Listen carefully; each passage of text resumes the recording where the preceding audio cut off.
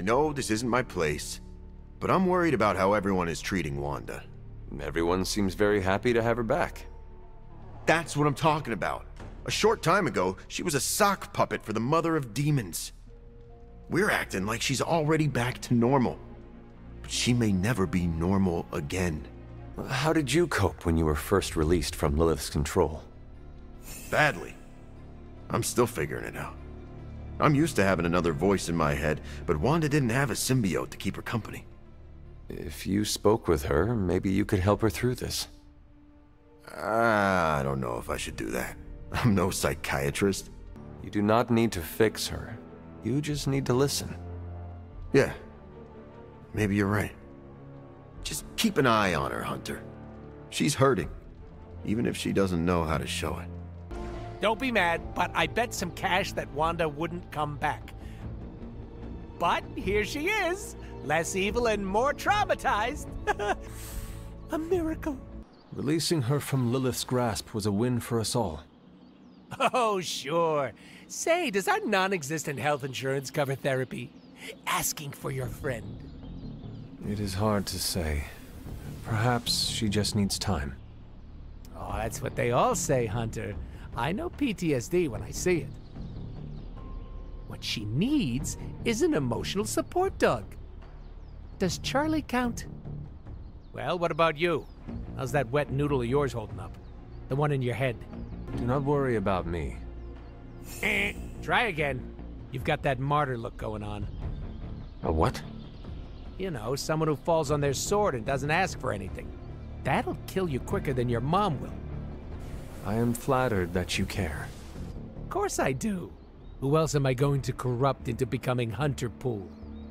If you go around soaking up other people's problems like a sponge, you're gonna get so full you explode. So take it easy. I don't want to clean up that mess. I understand you spoke to Wanda this morning. Tell me, how is she faring? Perhaps you should ask her yourself. I am sure she would like to hear from you. I'm not ready for that. I can't imagine that she doesn't feel some semblance of betrayal on my part. I was the one who gave up on her, and long before she fell to Lilith. I just thought she was lost to us, beyond saving. No one has been purged of Lilith's corruption before. I didn't think it was possible. But you and Nico made it possible. This isn't easy for me to say, but I'm sorry for ever doubting her. Who you should really be apologizing to is Nico. Yes, yes, I know. Ah, I just don't know if she would accept an apology from me at this point. Do it anyway. I can't help but ask, what was it like, purging Wanda of Lilith's corruption? Did you suffer any strange effects I should know about? Other than the circumstances surrounding it, the spell itself did not feel like anything more than another tiresome Latin incantation. Funny how some of the most potent magic out there can feel like the most mundane to work. Indeed. I'm relieved the spell was a boring one. I admit, I was worried. Nothing to worry about here. Good, then we can get back to work. Well, that's enough of me monopolizing your time for now. We'll talk more later. Today is the first in a long while I haven't awoken to see doom clouds gathering on the horizon. It's a refreshing change of pace. We successfully retrieved the Gamma Accelerator and brought Wanda home. No wonder your mood is lighter. I'm so glad we kept the accelerator out of Lilith's hands. Although Tony's notion of stopping the prophecy is doomed to failure because the only thing that can stop Chthon is Chthon. But that's a worry for another day. Today is about optimism. I could not help but notice you left Wanda out of your optimistic worldview. Have you spoken to her? Not yet. I went to sleep last night hoping I'd have clearer thinking on the matter this morning, and it remains foggy. Do you really think you can avoid talking to her forever? I don't know yet what I would say to her. I still feel guilt for allowing her to fall to Lilith. Perhaps I'll follow Caretaker's lead here and wait to see what she does. Your instincts are sound. Trust them. The little voice in your head never steers you wrong. Most of the time, I suppose I'd agree with you. Except for the times that voice is Mordo projecting his thoughts into my mind. I would like to talk more, but there is still much for me to do. Too much, but I appreciate the time you gave me. Be well. I can't tell you how great it feels to have the Gamma Accelerator back. Seriously, total game changer. You are well? But we can't start passing out the party favors quite yet. If we don't find Johnny Flametop and grab the Parchment of Power, this thing is just a glorified barbecue lighter. Seems like you've got this whole thing planned. I'm impressed at how you always seem to know what to do next. Always ten steps ahead of everyone. Well, I have no shortage of ideas. It's executing them that's tricky. I try to keep a little notebook on hand to jot down ideas as they come up. Fascinating. Did you write this whole plan down in your notebook when it occurred to you? Well, sort of. It just says, uh, Oh my god, we have to find Johnny Blaze or we are all going to die horribly. I underline the word horribly. And if we do get the parchment, you really think you will be able to stop the prophecy? My appreciation of magic is evolving quite a bit thanks to you. It'll be tricky, but I think it's possible. Whatever you are planning on doing, you should move quickly. Our time is running out. Like I said, we're halfway there. Just gotta find Blaze, grab the page, blow it up, and next thing you know, we're kicking back on my yacht in the Bahamas. No matter what, though, this whole thing has already been completely worthwhile. Oh? And why is that? Because right now, I'm looking at the Gamma Accelerator, and Bruce Banner is looking at an empty spot where the Gamma Accelerator used to be. Ooh, now that Wanda's back, I feel like the band is finally back together. Can't wait to get some one-on-one time with her. Miss that witch. Go easy on her, Robbie. She's been through a lot. It might be a while before things go back to normal again. Normal? Since when were we ever normal? But Nico is right.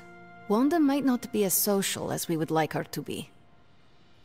I just want to make sure she knows that we love her and are happy to have her home. Maybe start slow with something familiar, like a movie night. Blade, you just read my mind. Wow, really? What am I thinking now? You must have a mind for it to be read, Robbie. I meant let's have a watching party in Wanda's honor. I think she's really gonna like that. May I join you? You can sit over there.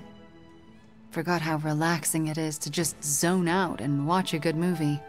You seem to be adjusting well after. I don't want to talk about it. now that you're here, you might as well join us. That sounds lovely. All right.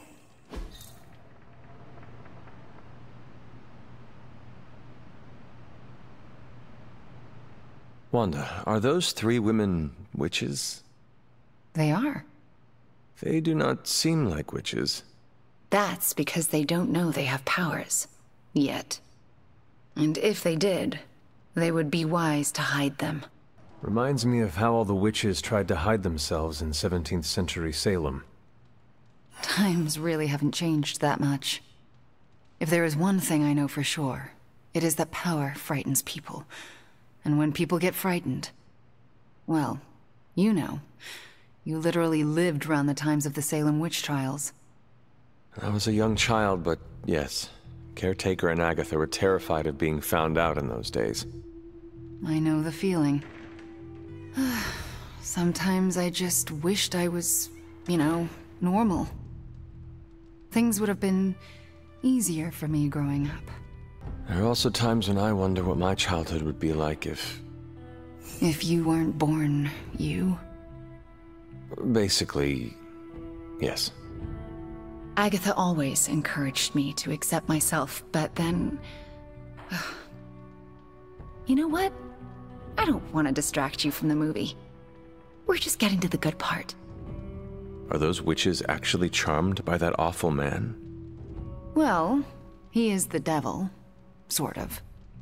Then why do they not just turn him into a toad or banish him? Because they're good witches, Hunter. Like I hope to be one day. So? Do you think Stark can pull this off?